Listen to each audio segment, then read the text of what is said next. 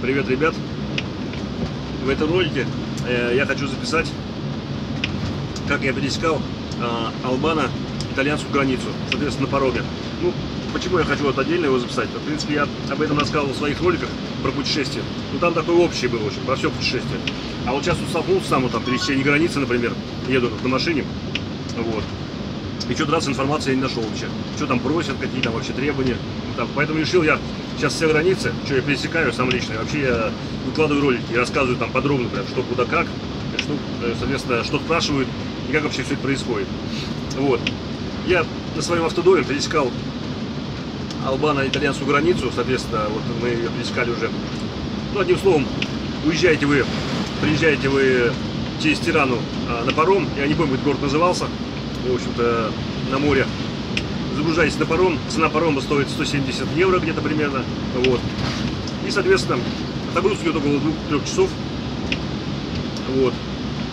А, значит, спать, соответственно, там не разрешают спать, а, потому что, ну, по закону нельзя, поэтому, соответственно, мы вот единственную ночь не, не ночевали в нашем автодоме, а спали там, что-то не забронировали мы там никакую эту комнату, спали прямо на сиденьях на пароме.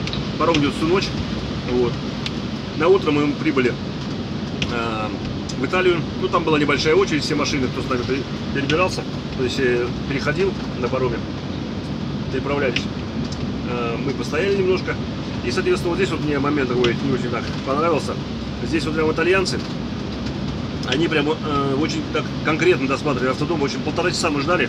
Они паспорта они быстро проверили, а потом вот три человека зашли, такие с отвертками, одним словом. Ну, один из них такой был особенно шутка, двое, двое других так не очень. И, общем, одним словом, тут мне буквально в автодоме все, что можно, здесь повскрывали. Прям буквально, не знаю, что там они искали, наркоту какую-то. Конечно, они нас спросили, типа, что у вас там, алкоголь, сигареты. Я говорю, ничего у нас нету, только молоко в холодильнике стоит. Показали даже, вот.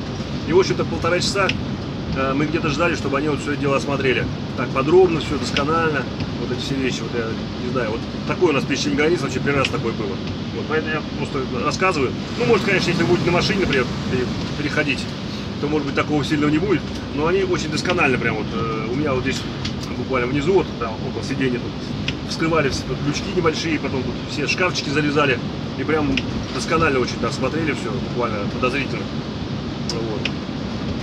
Вот этот момент как не очень понравился. Вот, и в принципе, вот где-то так было. Так все, в общем-то, быстро. Если у вас есть там Шенген, то вы въезжаете, и вот будет такой нюанс. Вот. Если вам нравится мое видео, ставьте лайк и подписывайтесь на мой канал. Счастливо!